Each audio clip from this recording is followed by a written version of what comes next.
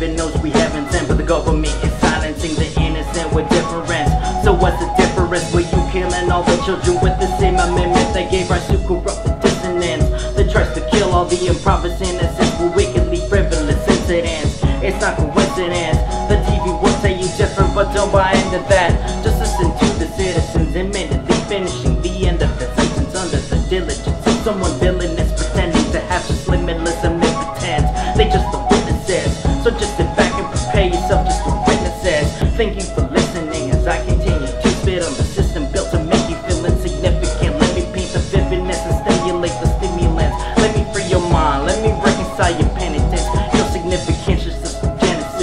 They are afraid of this. They always try to contain us, but they will never sustain us. So when they go to restrain us, we were built to be framed from. I know it's kind of insane, but we got so stuck in debating. So where the fuck are the angels? Cause everybody needs saving, and we are out here patiently waiting, trying to make it without any hate. We try to evade it, but instead we all fake it. We should fucking embrace it. Let's face it, cause basically we are onto the move. They took everything from us now. We got nothing to lose.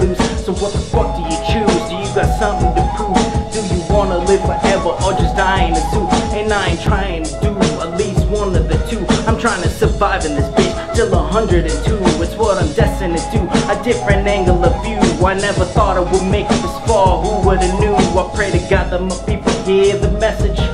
That the world is under pressure and they don't understand it. The life is fucking precious. So when you forget the lessons, the essence just loses presence. You're missing out on the message. Instrumental to the hustle. If you wanna thrive in this world, you better find something to occupy your mind or your time. Otherwise, they have you falling in line and put a fucking dog tag in your mind.